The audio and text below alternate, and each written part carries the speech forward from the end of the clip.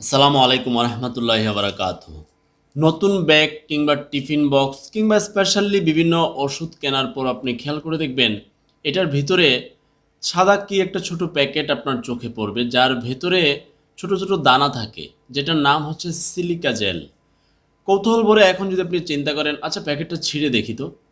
তো ছিঁড়ে যদি দেখেন এই আগ্রহবশত দেখবেন ছোটো ছোটো দানার মতো বলের মতো জিনিস বেরিয়ে আসছে। এখন আপনি চেষ্টা করুন, ঠিক আছে, একটু চোখের কাছে নিয়ে দেখি। এরকম ভুল করবেন না। তো প্যাকেটের গায়ে লেখা থাকে কিন্তু খেয়াল করে দেখবেন যে এটা খাবেন না মানে ফেলে দেবেন। এখন যদি আপনি নির্দেশ অমান্য করেন, তাহলে তো বিপদ। আপনি এমন ভুল যদি নাও করে থাকেন, আপনার বাচ্চারা কিন্তু এরকম ভুল করে বসতে পারে।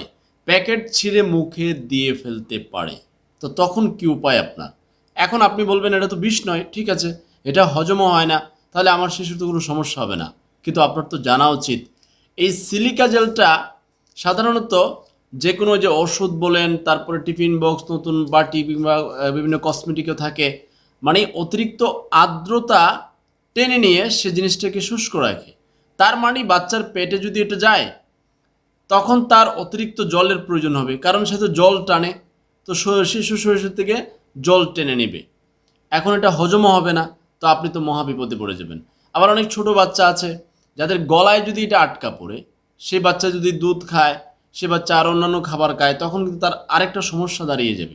মোটামুটি বড়দের জন্য এটা বিপদ না হলেও ছোটদের জন্য কঠিনতম বিপদ। এখন যদি এরকম পড়েই যান ক্যাচালে, যে আপনি হয়তো ফেসবুকে কিংবা সিনেমা দেখে না, মানুষ নানান সিরিয়ালে ব্যস্ত থাকেন নানান কুটকুট কটকট করেন, কিন্তু আপনার বাচ্চা ওই নতুন বক্সের প্যাকেট খুলে এই সিলিকা জেল খেয়ে ফেলছে। বাচ্চাদের তো আগ্রহের শেষ নাই। তো ওই রকম ক্যাচালে পড়ে গেলে তারপর ডাক্তারের শরণাপন্ন আপনাকে হতেই হবে।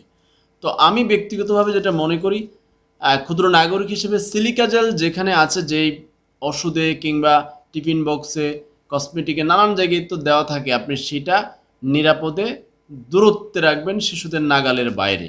যদি না রাখেন, বিপদ আপনার হবে। আপনি বিপদে পড়ে যাবেন, আপনার সন্তান বিপদে পড়ে যাবে সেই বিপদ থেকে তো কেউ উদ্ধার করতে আসবে না।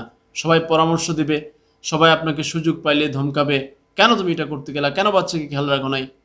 এটা বলবে।